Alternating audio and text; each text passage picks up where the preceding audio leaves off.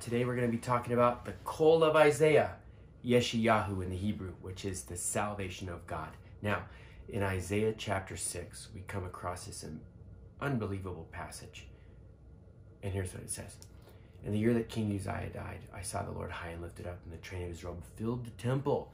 And I saw the seraphims crying out, Kodesh, Kodesh, Kodesh Adonai Tzabaoth, Holy, holy, holy is the Lord God Almighty, the Lord of hosts. And the whole earth is filled with his glory. And then uh, he sees this dialogue, and the angels are coming over to him. Let me read it to you. The foundations of the threshold shook at the voice of him who called, and the house was filled with smoke. By the way, this smoke is ketoret. It literally means the smoke that is set apart, hallowed or holy. It's not a joke word, it's not a pun, it's not something you say when things don't go right and you're trying to be polite. You know, instead of using harsh language, this is ketoret. Ketoret is the smoke that comes from the altar if one is praying and burning incense to the Lord in the house of God, the Mishkan, the Beth Mikdash. Let's go on. Woe is me, I said, for I am lost. I'm a man of unclean lips, and I dwell in the midst of a people of unclean lips, for my eyes have seen the Lord of hosts. This is like what Cephas or Peter said when he saw Jesus' miracle power by the grace and power of the manifested God. He said, I, am a sinner, depart from me, I'm unworthy. And you have to understand, our worth is a gift from God. Even our worth, our righteousness is a gift from God. It's imputed, it's given to us by grace. One of the seraphim then took one of the burning coals with tongs. These are tongs. This is one of the burning coals from the altar. He took the coal touched my mouth and said, Behold, this has touched your lips. Your guilt is taken away, your sin atoned for. Holy is the Lord. Let me tell you a little bit about this, what this coal is about. First of all, to get a piece of coal like this, it comes from a piece of wood, a wood that is offered to God and burned down and condensed after offerings of sacrifice and service sacrifice and service. It condenses down. So to get a coal like this, first of all, it's prayer, fasting, giving, serving, honoring, uh, repentance, prayer, blessing, thanksgiving. This coal has such worth. The second thing is that this coal is on the altar that is outside in the Azara, the temple court, but it's outside the holy place where the golden altar is. In other words, in order to get a coal like this to burn incense, you have to take something from the outside to the inside. And the outside is not the out outside like the world. It's like the, the a place where people are already praying, making vows, commitments, dedication, serving, honoring, believing into a place of greater dedication, greater holiness. So two things are happening. One, by the way, you ever seen a real seraphim? Let me show you a few pictures. Here, here, and here. Look at the six wings here. How could, so by the way, when people honor God and they understand his true worth, they can only bow down. He's so great. And we bow like this, humans. And so, how could an angel with six wings bow? Because the wings are always in flight. It's like a fish. You know, how could a, a fish has to flap his fins, right? So, what happens is two cover their face, two cover their feet. So, that's the same thing as being prostrated like we are. And with two, they fly because they have to be in flight around the Lord. That's their perpetual command. Now, because there's a glory there as well, like a hawk and fly an eagle and fly a dove. It's it's almost un, unmatched, and that's why they're also creatures. One of them has the face of an eagle, one of them has the face of a man, one of them has the face of an ox, and one of them has the face of a lion. Now these are some of the glory of God, the King of the sky, the King of the animal kingdom, the King of the toe power, raw power, and and who is in the image of God, man, and man has dominion over all the animals, which represent his majesty, his strength, and his dominion or his authority, the lion of Judah. Uh, and like Aleph is the strength of God, the strength of the Lord, and it represents an ox. And man is in the image of God. And an eagle, it says in Job, by your command does the eagle soar. And in Revelation, it says there was an eagle flying across the throne saying, Woe to the inhabitants of the earth. So we're seeing this angelic and heavenly activity. And we also have to understand these creatures are designed to give glory and honor to God. So let me tell you what's happening. The glory of God, the majesty of God in the throne room, which is Kodesh Kodesh, Kodesh, the Lord's holy place. He's taking something like this, a coal that is used to burn incense perpetually, which are the prayers of the saints. So something that is so sacred and holy is an altar, which is only for God, only to be used for God's purposes, only originated by God. When Noah landed the ark, he built an altar. Joshua crossed over the promised land, he built an altar. Moses goes to Mount Sinai, he builds an altar. Nehemiah goes back to Jerusalem after seven years in Babylon, builds an altar. Adam and Eve's first children in the world build an altar and make offerings. So this idea is not a new idea. This is like from the beginning um, that God has given us such a great tool to communicate and to make offerings and memorials. And even when you get married, there's an altar. Every church has an altar. In other words, this is set up by God, for God, and through God.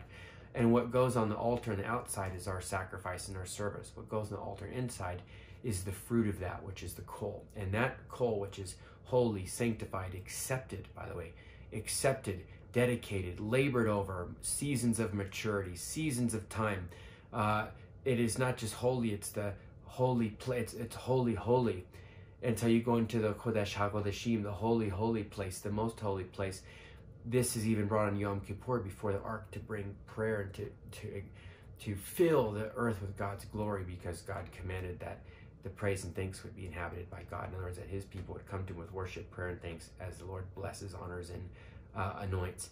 And so we have this amazing perpetual given relationship. By the way, God gave. God so loved the world that he gave. Jesus Christ ascended and he gave apostles, prophets, teachers, evangelists, and pastors, gives to men. God so loved the world that he gave his one and only begotten Son. And the Holy Spirit gives gifts severally and individually as he will. So God has given everything. Not that we love God, but he loved us first. Is it so much that we would give back to God?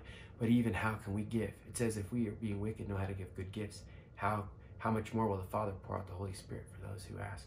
Ask for the promise of Ezekiel, beloved. Ask for the promise of Shavuot, Pentecost.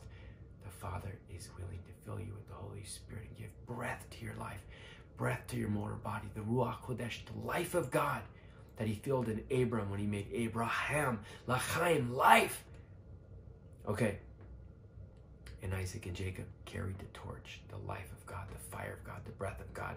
By the way, no wind, no fire, no oxygen, no torch, no fire, rather. So you take this coal, it's ignited by the fire, it holds the charge. It's like a man uh, ready to do good works. He's holding the charge of God. Whatever touches him becomes holy to God.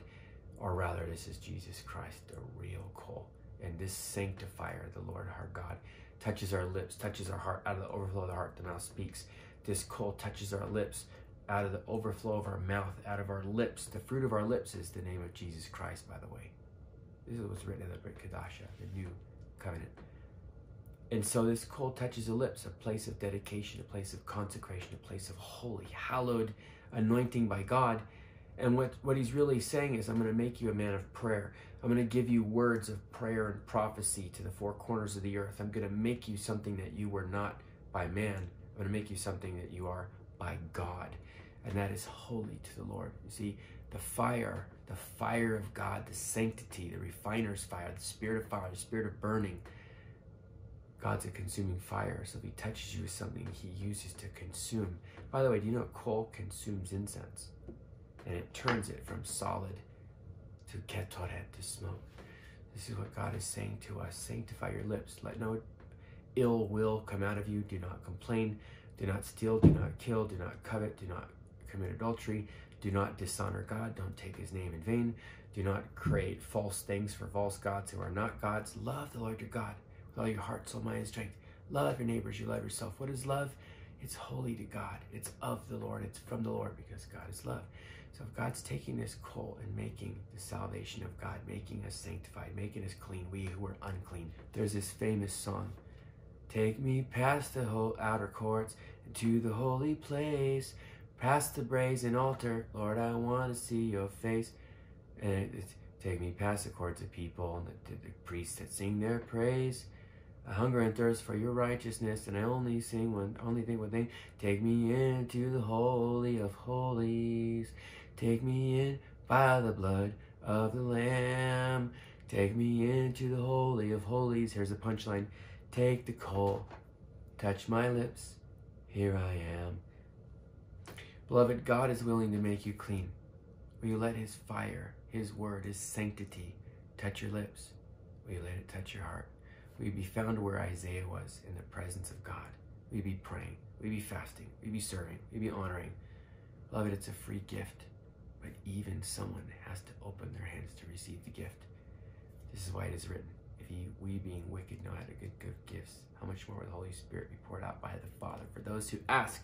Okay, so what is this really saying, beloved? That is saying that the will of heaven will be done on earth, on earth as it is in heaven.